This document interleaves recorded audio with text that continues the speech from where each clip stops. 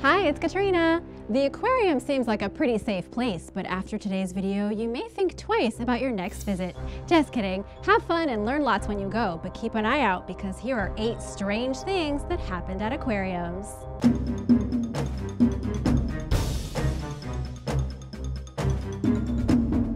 Number 8. A stolen shark.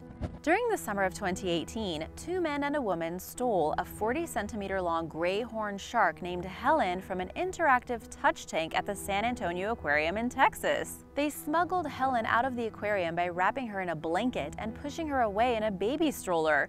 Staff members noticed water dripping from the carriage and repeatedly requested to search it as they followed the thieves into the parking lot, but they were brushed off by the trio, who claimed that their baby was sick and needed medicine. Police thought they were being pranked when they received a call about a stolen shark, but luckily Helen's kidnapping was caught on surveillance footage. Two days later, the thieves confessed to the crime. Authorities had traced the license plate of the getaway car the group drove away in, and they knew that they had been caught. The mastermind behind the act, 38-year-old Antone Shannon, was apparently a marine enthusiast. Leon Valley Police Chief Joseph Salvaggio told San Antonio TV station KSAT that when officers went to Shannon's home to retrieve Helen, they noticed that it was filled with various tanks containing fish and other marine species. Salvaggio also said that Shannon appeared very knowledgeable about marine life and stole the shark because he was trying to replace one of his that had recently passed away. Shannon was arrested on a state felony charge for stealing Helen. About a week later, he found himself in more hot water and was charged for stealing pots and pans from a department store. This takes kleptomania to a whole other level. The shark was already traumatized enough by being in a touch tank, let alone taken out of the water for such a long time. Number 7. The Shark Tank Skinny Dipper. One man decided that it would be a fantastic idea to jump into a shark tank naked at a Canadian aquarium in October of 2018. Hours after committing an assault outside medieval times in downtown Toronto, 37-year-old David Weaver proceeded to the nearby Ripley's Aquarium where he disrobed and leapt into the dangerous lagoon exhibit, which contained 17 sharks. The footage was caught on video and went viral on social media. He fled the scene but was apprehended the following week in Thunder Bay, Ontario, and was transported back to Toronto to face justice. Weaver faced a total of three charges for the assault and for his skinny dipping stunt. A judge ordered him to stay at least 100 meters away from Medieval Times and Ripley's and at least 50 meters from his assault victim. He was also required to seek therapy for alcohol abuse and attend anger management. After posting his $2,000 bail, he was released from custody. This story is proof that if you're thinking of doing something absurd for shock value, humor, or any other reason, just don't, and leave the poor sharks out of it. Number 6. Shark Tank Shatters in February 2017, at the Acuario de Mazatlan in Mexico, a shark tank containing 13 different species shattered. The incident happened after an 80 centimeter thick section of acrylic glass detached and collapsed, causing a small leak. That small leak quickly turned into a bigger one, and as cracks appeared in the glass of the enclosure, millions of liters of salt water spewed forth. As the aquarium flooded, emergency services rushed to the scene. Thankfully, the hole wasn't big enough for any of the tank's inhabitants to escape, and emergency responders were able to close it back up. Even more fortunately, the leak occurred after the aquarium had closed for the evening and there were no visitors present.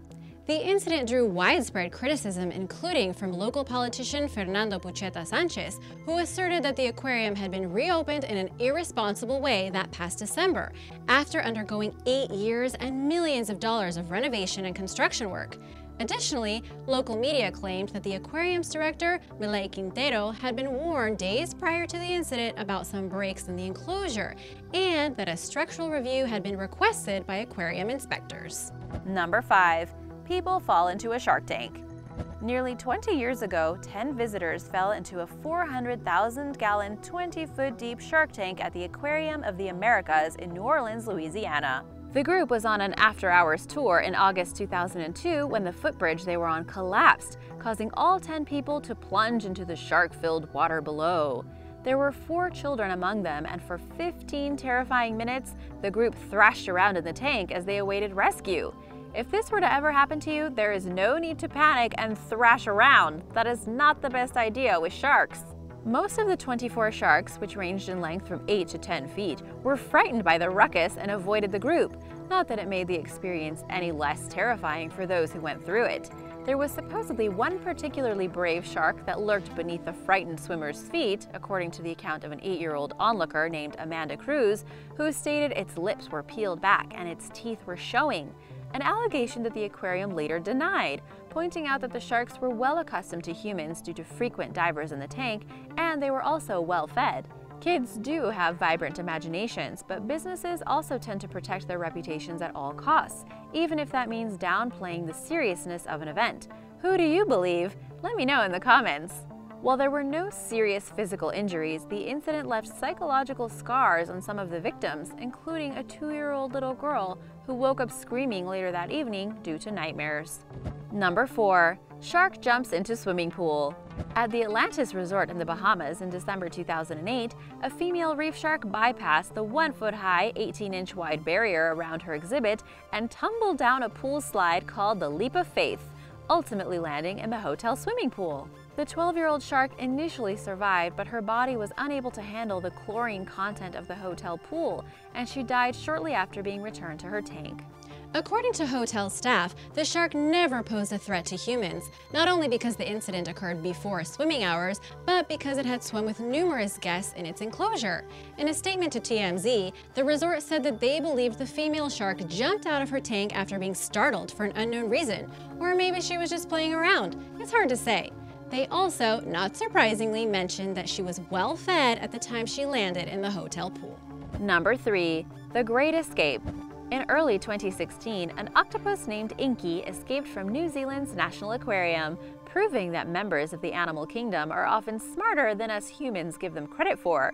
Or as you already know, because you saw my octopus video from a couple of weeks ago. If you haven't, be sure to check it out. First, Inky moved the lid to his enclosure, which he shared with another octopus. During the night, he slipped through a small opening, landed on the floor, slid across, and squeezed into a narrow drain pipe which led to the open ocean. Freedom! If this story sounds familiar, it's because this was the inspiration for Hank in Finding Dory. Aquarium staff figured out how Inky escaped by following the trail of water he left behind. In the aftermath of the escape, Rob Yarrall, the aquarium's manager, described Inky as an octopus who was very inquisitive and liked to push boundaries. He had been donated to the aquarium in 2014 by fishermen who had caught him in Pania Reef. At the time, he was battle-scarred from getting into fights with other fish, and who knows what else. Employees quickly took to Inky, whose inquisitive nature made him rather likable, and some employees were favorites while others were not so much, and he would try to shoot water at them while they were cleaning his tank. According to marine biologist James Wood, who has worked with octopuses for many years, it's surprisingly common for them to escape from captivity. They have the advantages of being intelligent and having soft, boneless bodies that can navigate through tight spaces. There were no hard feelings on behalf of the aquarium following Inky's quest for freedom, according to Yarrall, who said, We'll miss him, but we hope he does well in his new life. Number 2. Great White in a Tank what happened at the Monterey Bay Aquarium in 2005 was an example of just one of many reasons why great white sharks cannot be kept in captivity. The aquarium officials decided to try and keep a great white shark in a tank. They put her into an exhibit with several other species, thinking that as long as the occupants remained well fed, they wouldn't attack each other, which is normally the case, but not with great whites. Despite receiving plenty of nourishment, the 5.5 foot long, 100 pound great white attacked and fatally wounded two of its tank mates. The female shark had been at the aquarium for about six months when she snapped and decided one day to take a bite out of two soup fin sharks. Since we don't really understand their behavior that well, it's hard to say why. Following the attacks, officials made the wise decision to release the great white back into the ocean. She was lucky compared to other great whites that have been put into confinement, as most of them died tragically within days or weeks of being placed in captivity. I wonder where she is now and how she's doing. Number 1. Mysterious Illness More than 100 high school students reported having a flu-like sickness in May 2018 after attending prom at the Shedd Aquarium in Chicago. In the days after the dance, 111 students from Victor J. Andrew High School were confirmed ill, citing symptoms consistent with norovirus. Investigations into the cause of the mysterious widespread illness were launched by the high school, the food caterer, the Cook County Department of Public Health, and the aquarium. The food that was served at the prom was quickly ruled out as the source of the sickness. To make things even stranger, over 24 kindergartners had become ill with norovirus when they visited the aquarium 10 days before the prom, and none of the kids had eaten there. Norovirus can cause severe vomiting and diarrhea and is very contagious. Although health officials vowed to determine what caused all these children and teens to fall sick, this information was apparently never made public. And while all signs point toward the illness having been contracted at the aquarium, some of the prom attendees reported in a survey that they had been experiencing symptoms before the event, and the aquarium therefore deserves the benefit of the doubt. I hope your next visit to an aquarium is a little less eventful than any of these I just told you about. Thanks for watching, and don't forget to subscribe to Origins Explained. Let me know in the comments if you'd like to see more videos like this. See you next time. Bye!